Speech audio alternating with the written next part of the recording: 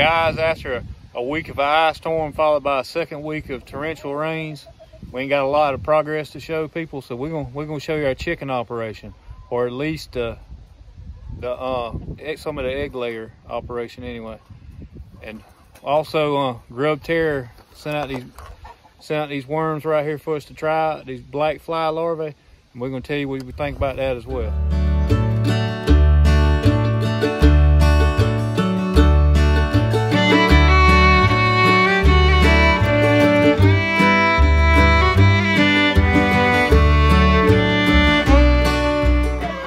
All right, guys, I'll tell you first what I know about this GrubTerra. They reached out and asked if they could send us some to try. Didn't didn't put us under any kind of contract or anything. There was not a paid advertisement or any of that, but we said sure, anytime we can get something that's nutritious for our chickens. Because what I've read up is the black soldier fly larvae is better than grub worms because it, it has the calcium that the grub worms lack. And what I like about this is this one pound bag right here I want to say it's 20 pounds, if I remember correctly, of food waste that does not go into a landfill because of it. So every every pound bag they sell, that's 20 pounds of food waste that's out of the landfill. And anytime that we can uh, be more sustainable or do something green, we would in that's reasonable within our budget, then we'll do it. So go ahead and open that up. By the way, this is this is Elijah. He's he's the what, what's your title?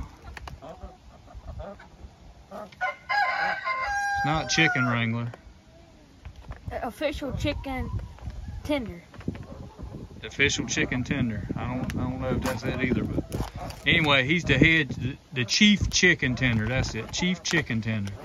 He makes sure that every daily that the chickens are taken care of and he's gonna give them a nice treat here that they don't usually get.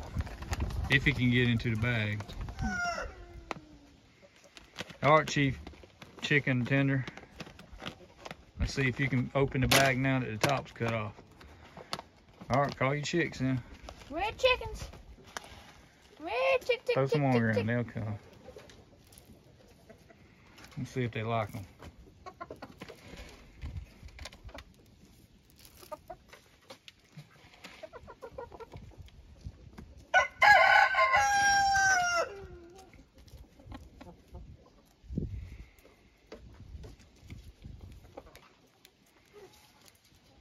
Don't think they know what to make of it because they're not used to having anything outside of their feed besides what they go out there and forage in the woods.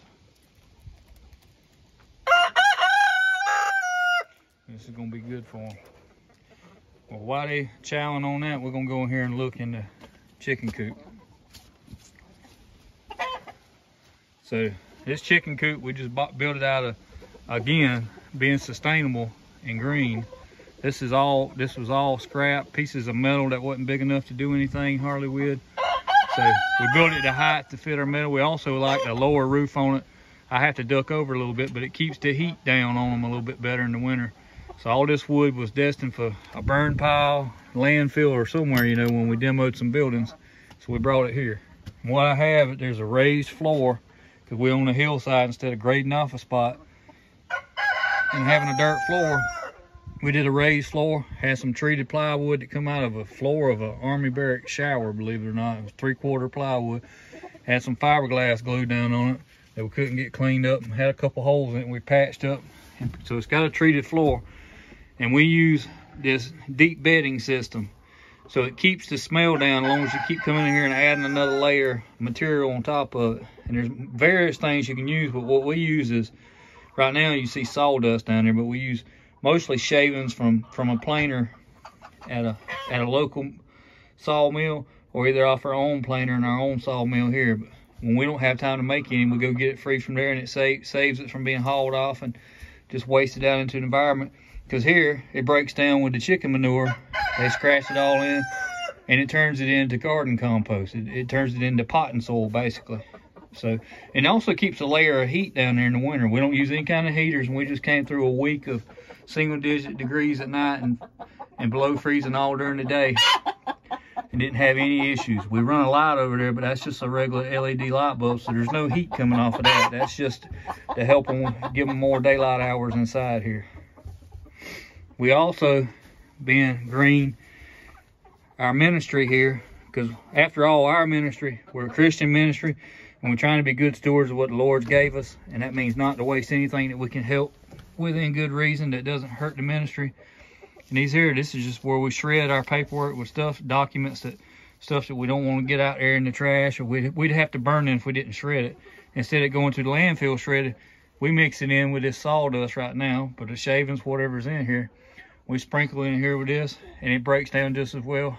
And I know some people might say, well, chickens might eat, well, they're gonna eat a little bit of the sawdust too, anything goes on the floor, but it's not gonna hurt them. Chickens are amazing filters. And just like that GrubTerra uh, worms there, that black fly larvae, they, they're taking that food waste in return, turning it into food for these chickens, and these chickens are in turn turning it back into food with us, for us along in the in the version of eggs and meat. But that's that's a tour of our chicken facility. The egg layers are some of them. We got some more scattered around that's doing various jobs. They like it. Give them some. Show you guys up close what this looks like. It's like pretty good stuff for chicken. And it says it's for chicken, reptiles, fish, and birds. So Eli is gonna give them a little bit, a couple times a week when he comes out here till that bag's gone. And any guys that's wanting to try some, we have a we have a code down in the description below where you can get get uh, some savings on it and order some for yourself if you'd like to. Thank you guys for watching today's video. Hope you enjoyed it. Please like, subscribe, and follow us on social media. As always, God gets the glory for the good in our lives. Jesus Christ is our Lord and Savior. Feel free to reach out to us at the email in the description below for any prayer requests or questions you may have. God bless.